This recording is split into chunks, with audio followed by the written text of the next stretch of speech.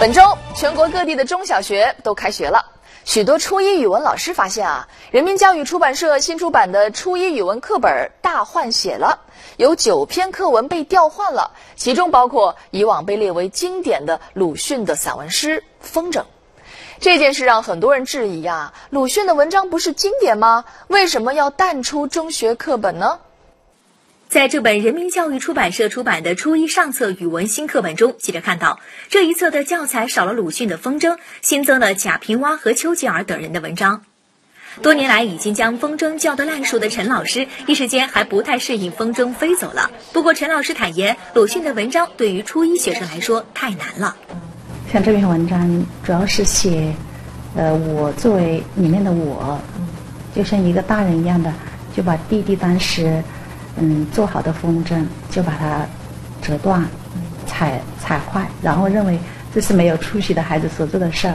然后呢，嗯，学生就觉得这一行为不太对。然后继续里面讲，嗯，长大以后，当我再去跟弟弟道歉的时候，弟弟很茫然的看着我。然后这种道歉、这种忏悔和反省也不太理解，学生也觉得不理解。呃，为什么会是这样？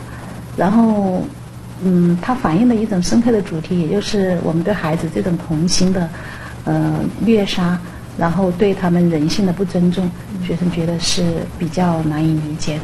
同样有着丰富语文教学经验的易文芳老师也认为，《风筝》这篇文章并不适合在初一上册就让学生们阅读。呃，风筝那篇文章放到初一确实稍微难了点，因为他那篇文章里面他着重谈论的就是一种对自我的剖析。呃，对教育自教育教育的一种反思，对自我的一种剖析。这种自我剖析放到初一，确实学生理解起来有点难度。但是我觉得，如果那篇文章放到初二的下期，或者是到初三，他们可能读起来更加有感受一些。因为那种自我反省的精神，其实孩子们也是应该需要的。其实我们，我觉得，我个人认为，读鲁迅的文章，其实不仅仅是读他的文字，其实我们也要从文章中间去学会他那种那种自省精神。鲁迅作品向来都是中学语文教材的重要组成部分。杨毅读书的时候，记得也背过很多鲁迅先生的经典，例如“其实地上本没有路，走的人多了，也变成了路”等等等等。从一九四九年至今，中学语文教材中的鲁迅选文几经变迁。那么近年来，随着教材改革的深化，鲁迅作品在改革中也有了不小的变化。有人质疑说，是不是以后鲁迅的文章不会出现在中学课本上了呢？其实当然不是，呃，我们来看一下啊，从一九九三年的七篇到二零零一年的八篇，再到二零零三年的九篇，再到今年又改为了八篇，那总体上其实并没有减少的，调整的都是中学生较难理解的文章，像社戏。呃，藤野先生从百草园到三味书屋，还有故乡啊、孔乙己这些通俗易懂的小说散文，一直就保留在中学课文里。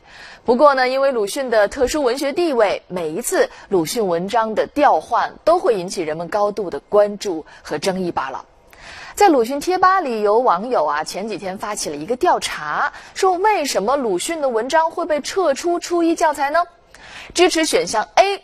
怕太难懂，帮学生减压的占到百分之十二点五，支持选项 B，鲁迅某些文章或思想不适合当下社会发展的人占到百分之六十点九，支持选项 C，过于陈旧而扔掉的占到百分之十点七。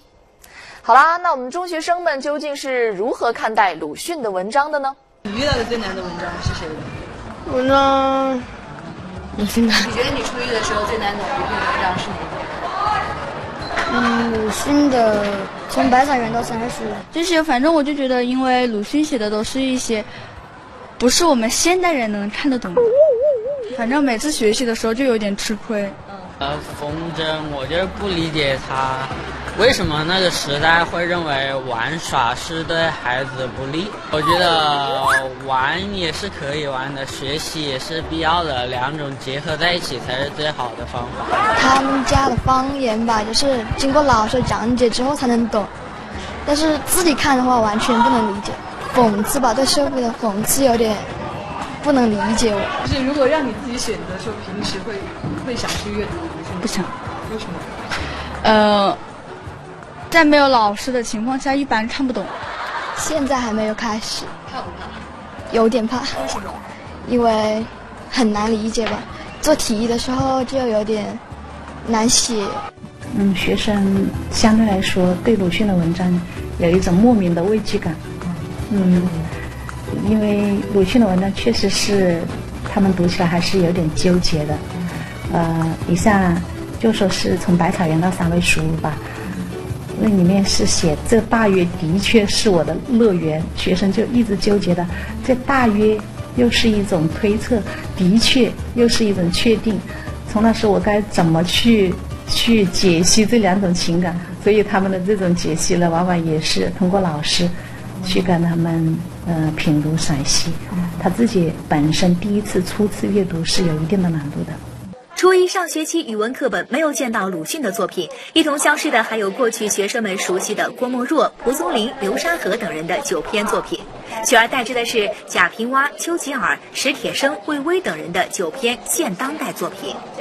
我我认为现在的教材的编写呃的文章所选的内容是越来越贴近孩子的生活。嗯，抒发他们的真实情感。你像这一本书里面，我看了就增加了一些写老师的、写学习生活的文章。嗯，这样的话，学生读起来觉得有一种亲切感。文章实际上好文章就是在你的身边，就在你的课堂，就在你的学习生活当中。